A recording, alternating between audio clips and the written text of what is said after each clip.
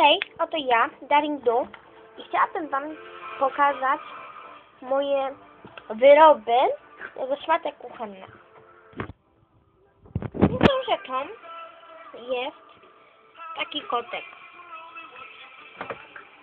On jest y, wypukły.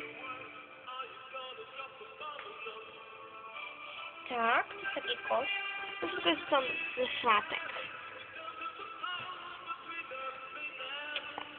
Kolejną rzecz jest nią taka głowa Fluttershy.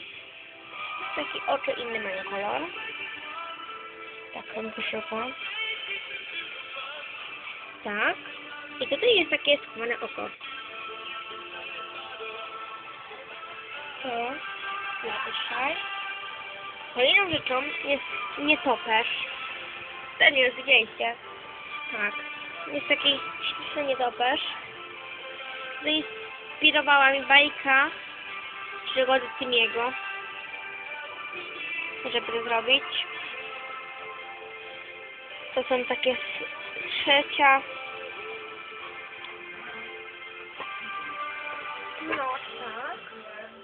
Kolejną rzeczą jest najlepsze, co mi teraz wyszło, jest ona kucykiem. Jest to Fluttershy. Tak. Najlepsza rzecz, którą użyłam, jest to Fluttershy. Taki słodki konik, co mu ucho odpadło. I trzeba będzie je przyszyć, ale ona jest taka słodka.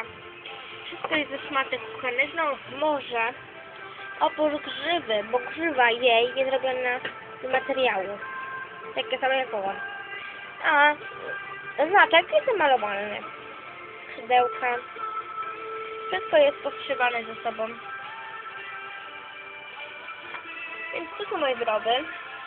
Jak jeżeli przypomnę sobie i znajdę resztę, to na pewno sobie o tym filmie.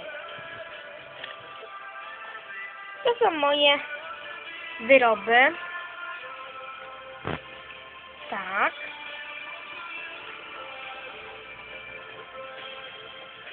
To mi się bardzo podoba.